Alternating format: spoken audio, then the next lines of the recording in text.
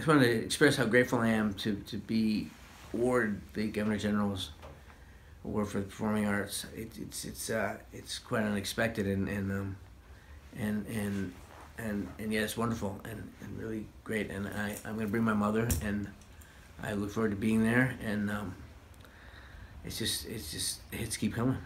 It's great.